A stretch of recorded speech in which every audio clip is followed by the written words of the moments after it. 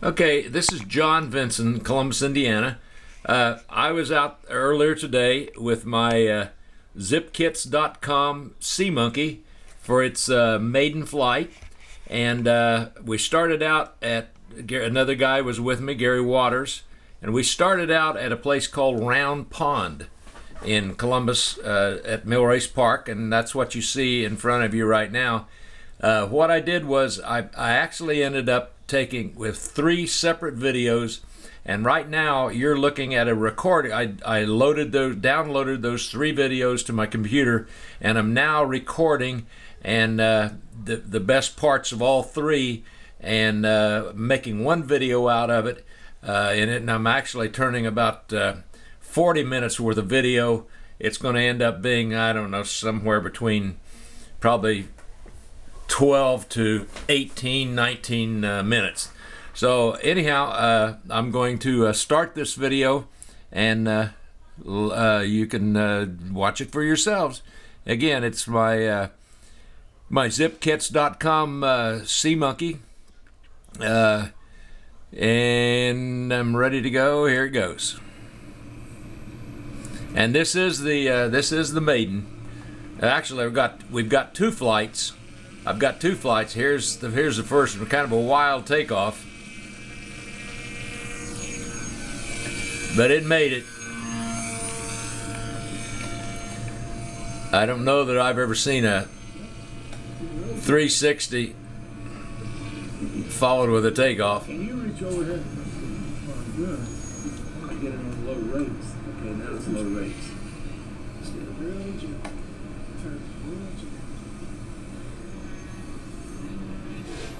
Well, that's flying pretty good once it gets the hell out.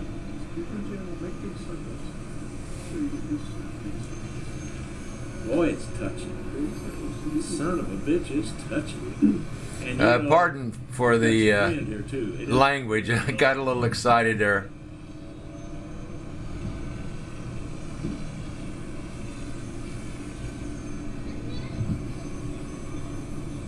Okay, I'm getting some of this on the, on the the camera too. I, the guy's the guy's name I think is Joe at Zippkits is Joe Petro. I think I think it's Petro. I double checked the name. It yes, it is Joe Petro.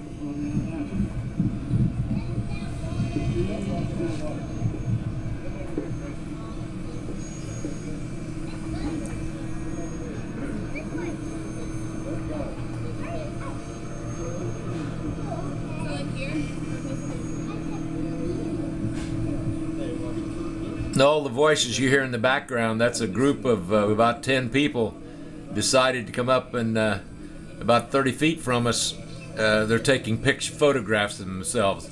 I suppose it's uh, they probably had family in for Thanksgiving, and so they came down to uh, what we call Round Pond, and, uh, and the reason we call Round Pond is because it's a complete circle, although you can't really tell that from this video.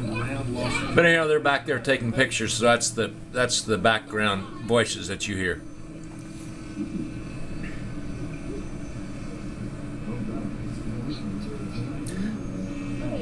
At the covered bridge you see in the for in the background, that uh, that bridge was moved here from I, I don't know that. I need to soften the throws up some. The bridge was moved here from uh, someplace else and uh, unfortunately, probably 15, 18 years ago, some vandals set fire to it and really caused a lot of damage. Uh, the, the upper structure, the superstructure, not the superstructure, but the upper portion of the of the bridge was completely destroyed. But that's all been refurbished. Now I'm bringing the plane in for a landing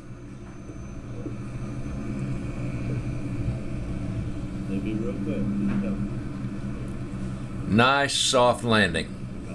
Very good. And I'm going to shut uh, this video. I'm shutting it off at 2150. And that would be right there. Okay, now I'm going to uh, drop this, get rid of this uh, video. I'm going to the second one. and I'll be starting it at. Uh, I'm picking it up at 11 minutes then. So let me get it started okay, here. The uh, battery was had run down. Uh, okay, there's. You know, over here, there's uh, nine crap minutes. There's actually- 10, actually four, 10, uh, 10 42, 10 50. Okay, Okay, here we so- go. That's good. It was a successful flight. A successful flight of the zippkits.com Sea Monkey. I had a lot of fun putting it together, and so far it's been uh, a good experience. And it's only going to get better because what I'm going to do is I'm going to make the front end. I'm going to give it a little bit more See how it stops right there abruptly? I'm going to bring it on up. I'm going to extend this. Let me set it down here. Well, I can't. I'll do it on the car. I'll show you when I get to the car what I'm going to add to it.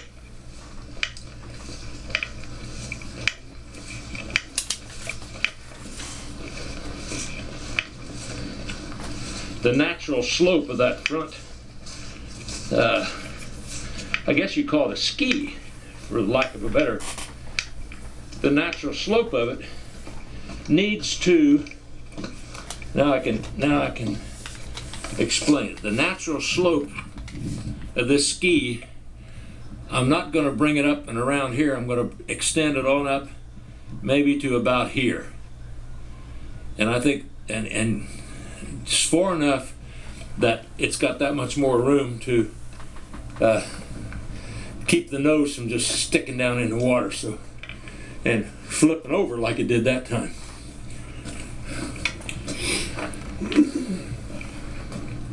So Okay, that's the. Uh, and I'm that's where I'm going to stop that.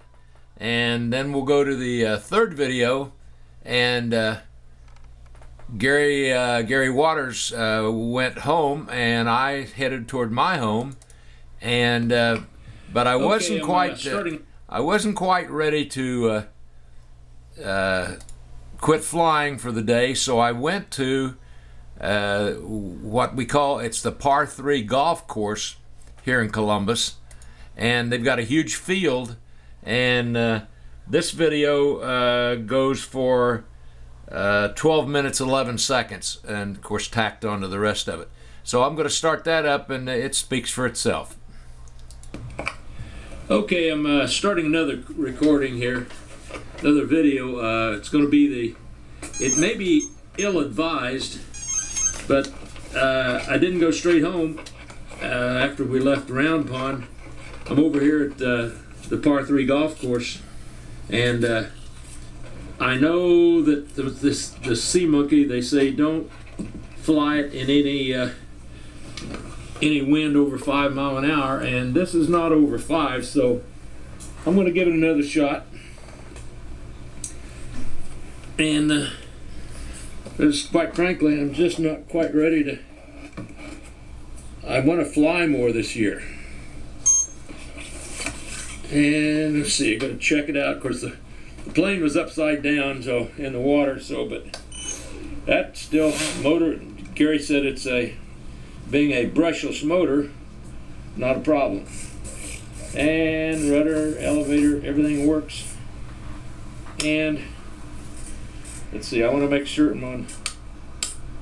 Okay, low rates.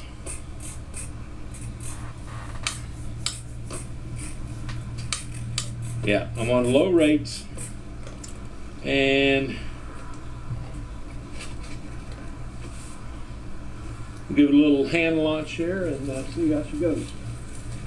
See, you got to check, see which way the wind's coming.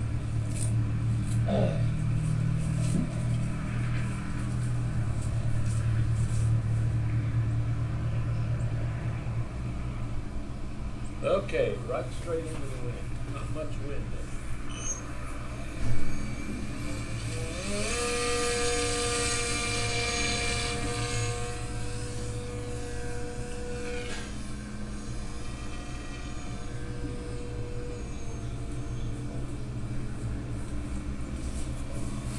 As I'm backing up here, I uh, stumble a little bit, but I guarantee you I haven't been drinking.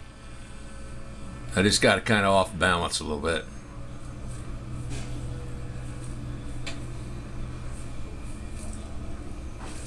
there it is. I almost fell on the can. Uh, as you can see, when it goes into the wind, it almost comes to a dead standstill.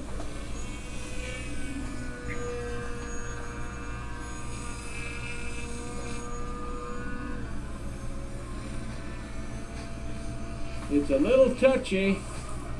The wind is really, really making it do crazy things.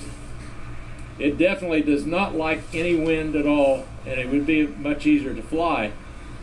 Much easier to fly without uh, without any wind.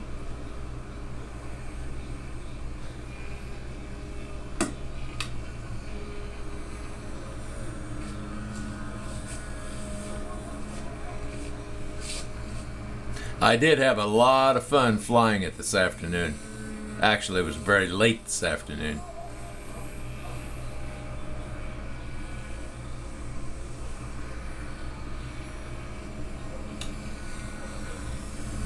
I had the camera setting on my on the hood of, as you can see, in the le- lower left of the frame, setting on the hood of my uh, car. I just wish I could, without the wind, I wish I could. Uh, I wish I could fly a little slower, but the wind is just not allowing me to do it. Although I'm going to back the throttle off and see what happens.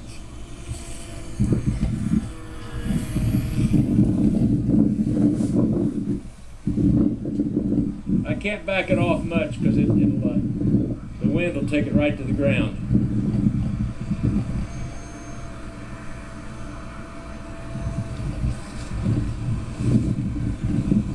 But it, without any wind, this that it's very maneuverable. And just a fun, fun plane to fly.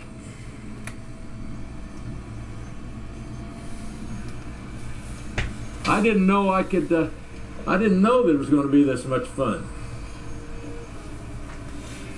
And I might fly it more out at the field than I do down at the pond. Now, right there is just a nice. In the, oh boy, the wind, wind took it.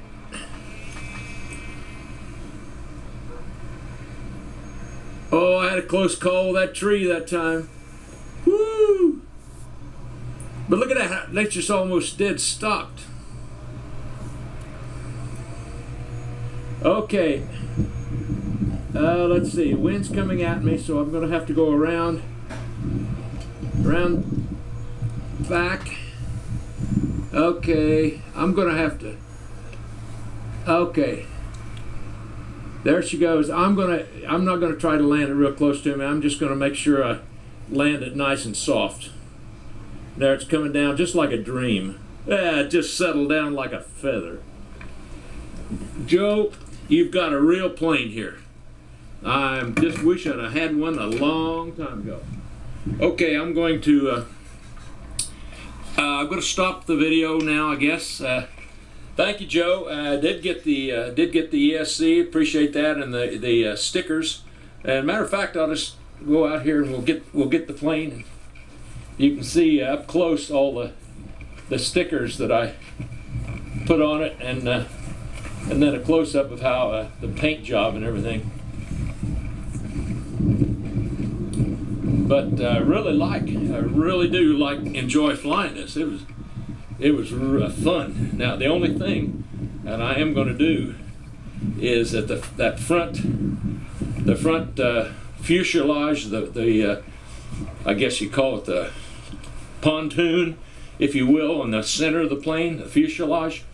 I'm going to extend that up a little bit because I did find that it was uh, at the pond with just a little bit of wind. It was uh, it was actually digging in and causing the nose to uh, causing the nose to uh, dig in, and then the tail would flip up. But anyhow. Uh, you can see the design, the the paint that I, paint scheme that I've got on it. And what I did was, every place where it was white, that was either two inch painter's tape or one inch masking tape. And so I put the tape where I wanted it and then painted the entire plane with this. Uh, I got it at Hobby Lobby here in Columbus. It's a paint that they use, the florists, I guess, are people that are uh, doing uh, little plants and things. It's a foam safe, a foam safe paint that uh, won't melt the uh, when they stick the when they stick the flowers. Put the flowers in pots. It's that green foamy stuff that they stick it into. So then they paint it. They want to, they paint the uh, sometimes use the paint to uh, make the basket I guess more colorful, colorful, and uh, then that of course that paint is uh, won't eat the foam up. So, but that's what it looks like uh, top side. So got uh, pretty much matching matching stripes except up front I got two more stripes here than I do back in the back. And then on the underside, of course, the, the tail got the stripes on it. And the big number ones, that came from that came from, from some uh, Iron Cross, an Iron Cross decal set. And uh, I didn't know what I was going to do with the ones. I didn't want to put them on my other plane. And so I thought, man, that's a good place for them. So there, and then uh, now here. Now I stopped the video right here to explain those ones. Uh, they were black, and what I did was uh, I masked them off uh, very carefully and then sprayed them with a day glow orange. So that's that's how I got the the orange. They started out black, but I turned them into orange because I wanted the uh, I wanted the the, uh, the the ones to match the color of the prop. And I'll explain just a second here. The prop was cut down and made out of a uh, much bigger slow fly prop. Uh, I had to do that because I damaged the original prop that came with the plane. So okay, here goes the rest of the video, and it's uh, we're up to 8:47, and this video ends at 12:11. So here we go. Here's the underside, the underside of the plane. I want to make sure I'm back far enough where you can actually see it. But that's that's the design back here. There's one other thing that I didn't do not mention on the video. I did use uh, packing, the cellophane packing tape on all of the uh, underside, the surfaces that uh, end up touching the water, or in the case if I if I'm flying it out at the field or someplace else, if it comes down and lands on asphalt or concrete, or even in the gravel, uh, it won't mark it up so much. Guys, it's kind of hard. To, I know it's kind of hard to see unless I get away from it a little bit. So that's. I'm pretty proud of it.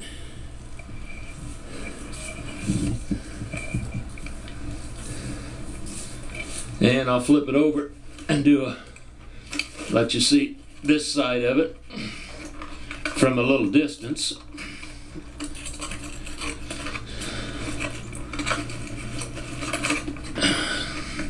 tuck the battery in there and put the cover, put the battery cover back on. That uh, orange prop, I actually, the prop that came with the plane, I, uh, I was messing around with the plane in my den and uh, it was a gray prop and I was looking I was looking for a little nut that or screw that had fallen on the floor and somehow I brushed against the uh, transmitter. It hit the throttle and the plane was setting over at the side, and uh, it nosed into the edge of my uh, desk and broke, and actually broke the uh, prop. So I this is I made this prop out of a much larger, a much larger slow fly prop.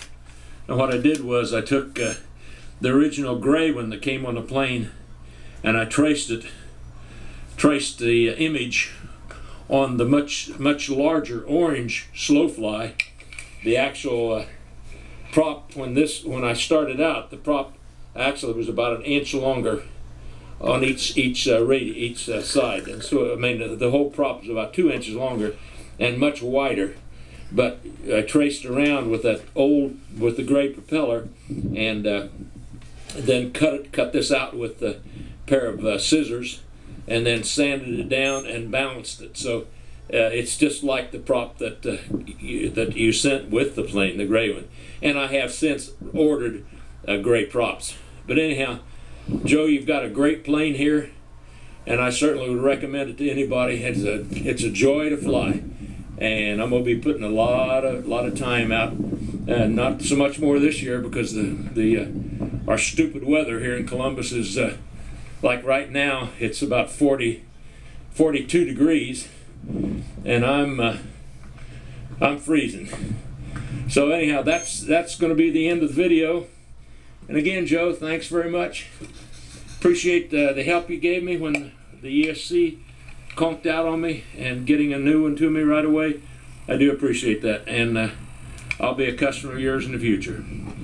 Uh, hope you had a good Thanksgiving, and uh, I wish you a, a Merry Christmas and a Happy New Year and uh, we'll be uh, maybe we'll be seeing maybe we'll meet you sometime at a at a, uh, at a meet somewhere.